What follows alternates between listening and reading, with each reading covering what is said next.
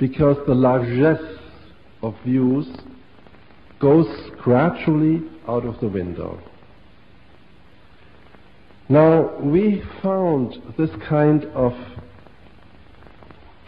atmosphere in certain organizations that are not terrorist and therefore are, so to speak, more mainstream Islamic. And you know the organizations I'm, I'm referring to.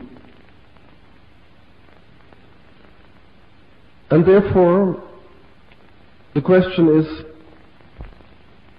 how could such organizations become so narrow in outlook and so selective in their approach to the beautiful religion of Islam?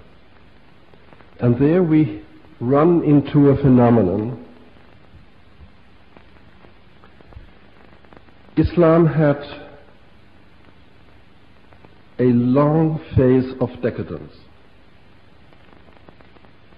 And that phase of decadence began before colonization. My thesis is Islam did not become colonized, uh, decadent because it was colonized. It became colonized because it had become decadent. If it had not become decadent, it would have withstood militarily colonialism. But of course, colonialism made things much, much, much worse. And you cannot deny that the mentality of some of the people who support what we call Islamism or terrorism, it's not the same thing, do have that frame of mind that has to do with a constant struggle against colonization. Coloniza- colonization in the imperialist way, as it was done, was a terrible wrong. When you go to Algeria or to Morocco, you will see that over every harbor in the most beautiful position there is a cathedral de Notre-Dame d'Afrique.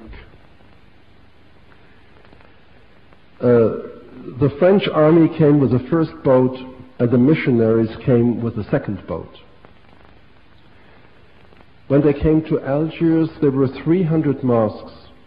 When they left in 1962, and I was there when they left in 1962, eight mosques were left, and the, sun, the, the Juma mosque, the main mosque, had become a cathedral. You, can you imagine the rage that caused? And when you then see young people who say, yes, now we are independent, more or less politically, even though the American ambassador is telling us what to do, but economically, we are not so, so independent, and culturally, not at all. Such people will carry that rage against colonialism all the way to New York, even a hundred years after colonialism has stopped on paper. Now, Islam got out of that. Um,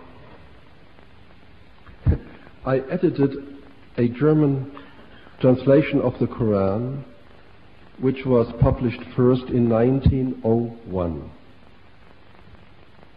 under a pseudonym.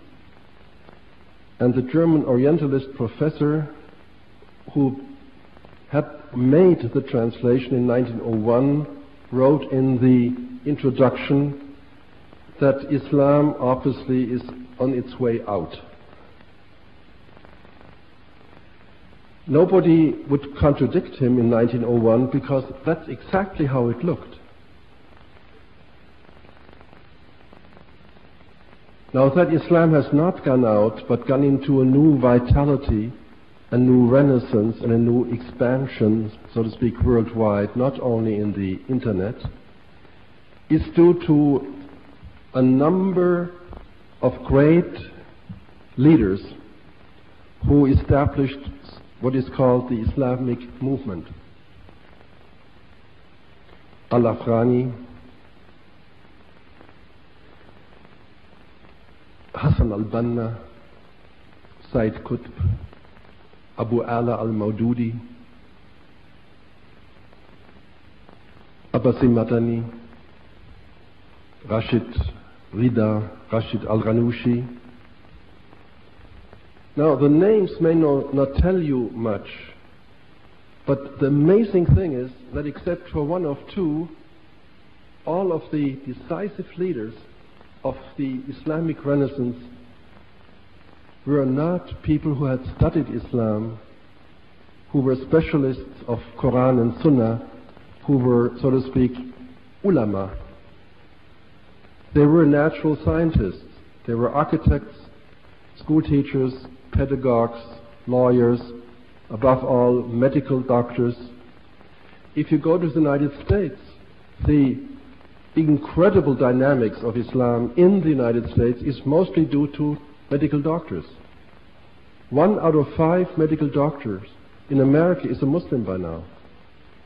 There is no other religious group which has such high uh, level of academic representation. Now, why did it happen that the decisive movements for the renaissance of Islam had leaders that were not Islamologues?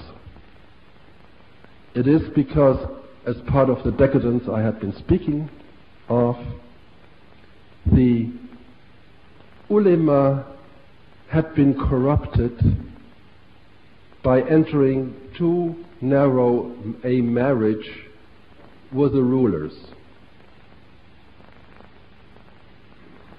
But the outcome is that even today you find Islamic leaders who do not have the overall command of uh, um, Quran and Sunnah and therefore tend to be a bit more selectively to pick a verse here and pick a verse there, make it absolute and say, let's go.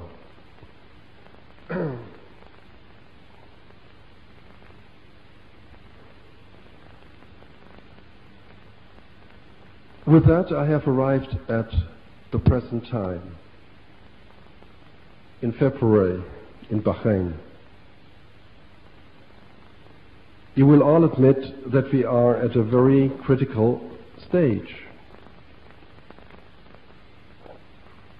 That the fate of terrorism in this world, the key to overcoming it, lies both in Tel Aviv and Washington. But that we are not so sure that these two powers will use that key. We know that the Islamic world is now in danger of being more split than before in those inside and those outside, because the Muslims outside are now under more pressure than, than ever. And we know that there is a danger that the United States will go gang ho, come, coming down like a ton of bricks like after Pearl Harbor, with enormous patriotism and emotional commitment, lashing out left and right. Uh, just as it had been done against Sudan. Uh, I visited Khartoum and saw that one and only pharmaceutical factory of the Sudan, downtown Khartoum, which out of the blue, without any announcement or warning, was destroyed by six American cruise missiles, without any evidence before or after that anything wrong was done. The only explanation the Sudanese could find for that was Monica Lewinsky.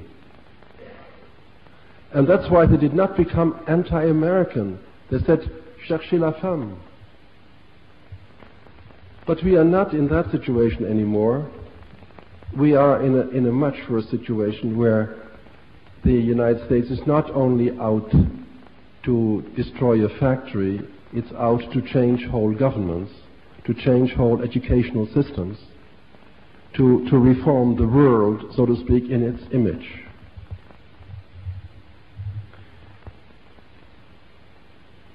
I have, all my life, I have been amazed as somebody who knows the United States very well, and my, I have an American son, as a matter of fact, and my first wife was American.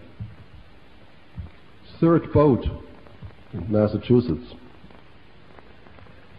I was amazed, and I continue to be amazed, how a nation that has had so many crimes committed during its past could be so optimistic about its leadership in the future.